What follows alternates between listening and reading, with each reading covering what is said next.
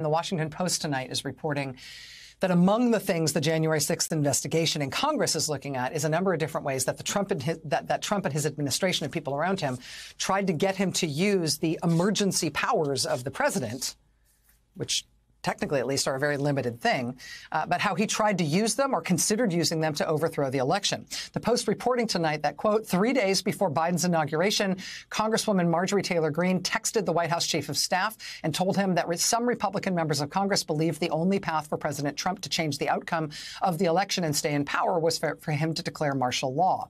The text from Greene, which was revealed this week, brought to the fore the chorus of Republicans who were publicly and privately advocating for Trump try to, try to try to use the military and defense apparatus of the U.S. government to strong arm his way past an electoral defeat.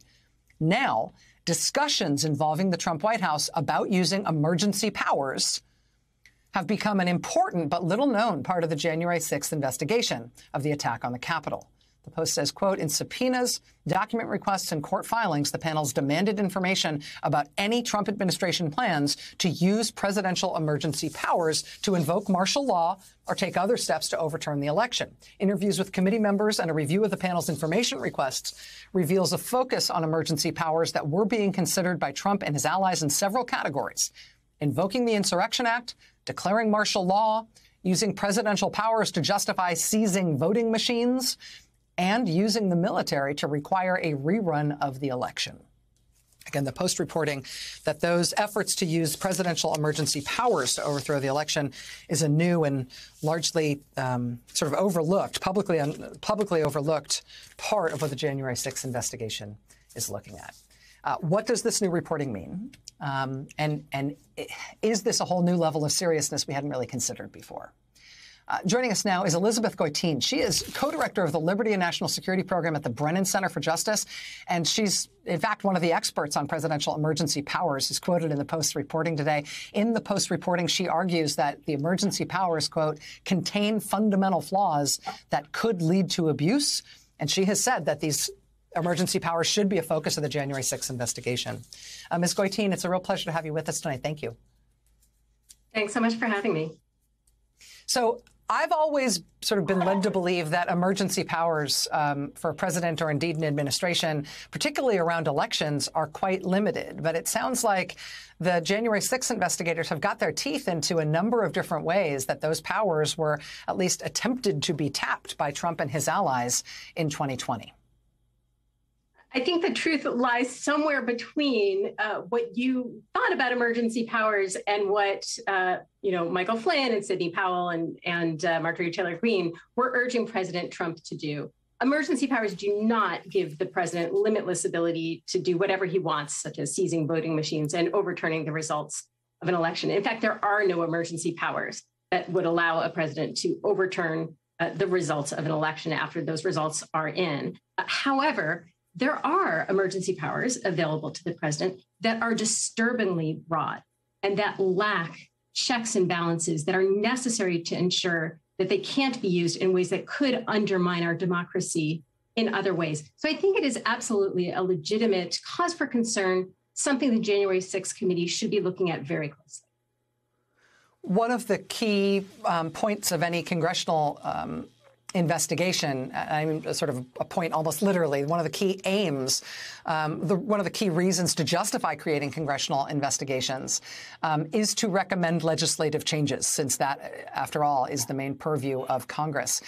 If the January 6 investigators are looking at this, obviously it's going to potentially reveal more to us about what the components were of the plot and who was trying to get away with what. But is it conceivable to you, as an expert in this field, that they could also recommend practical changes that the Congress itself could fix ahead of the 2024 election to alleviate some of the concerns that you're just describing? Absolutely. Let's take the National Emergencies Act, which allows the president to declare a national emergency pretty much within his discretion just by signing an executive order. And then that declaration unlocks enhanced powers that are contained in more than 120 different laws. Some of those powers are what keep me awake at night, including uh, laws that would allow the president to take over or shut down communications facilities, laws that would allow the president to freeze Americans' assets and prevent anyone from doing any kind of financial transaction with them, uh, laws that even allow the president to suspend the prohibition on uh, government testing of chemical and biological agents on unwitting human subjects. There are emergency powers that allow these things.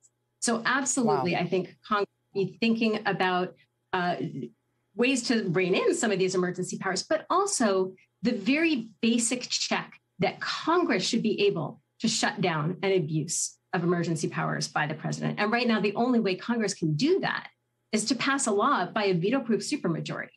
Um, and there are better ways to do it, such as uh, allowing an emergency declaration to stay in effect for 30 days, but to terminate at that point um, if Congress hasn't approved the declaration.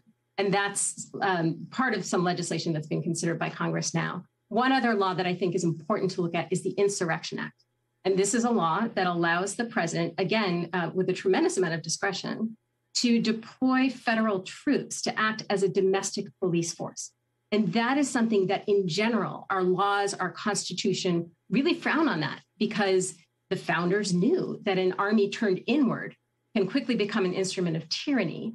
Uh, but this law, the Insurrection Act, is really an exception. It gives the president uh, tremendous discretion to deploy troops to address uh, not only insurrections, uh, as the name would suggest, but also to address domestic violence, which isn't defined, um, to address unlawful combinations or conspiracies, again, not defined. So, this very vague and frankly archaic language, uh, the statute hasn't been updated in 150 years, um, gives the president a dangerous amount of authority. Again, what it needs is more specific definitions and checks and balances, some provision for Congress and the courts to step in if the president overreaches.